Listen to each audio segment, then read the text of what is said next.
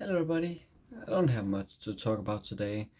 I was trying to uh, prepare some stuff in terms of that I would like to exchange some money from Danish krones to Canadian krones.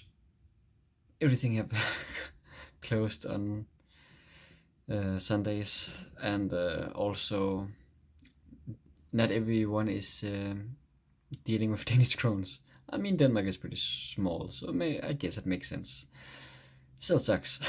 but uh, yeah, I'll try to get that done tomorrow together with um, starting to apply for for the um, what's it called uh, learner's license that I would like to get, and uh, yeah, I'll also keep on going to try to apply for some jobs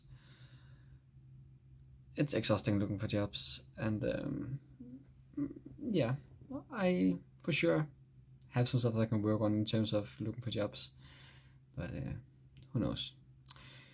Hopefully i'm gonna find something soon. It'll be pretty, pretty good for me so uh, yeah. But other than that i don't have so much else to talk about.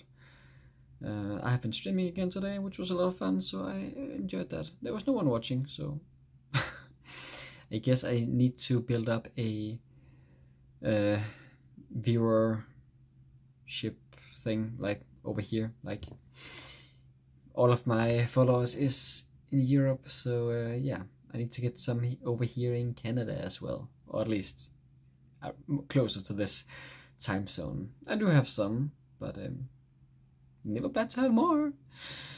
But yeah we will see. But uh, until next time guys have an amazing time and bye bye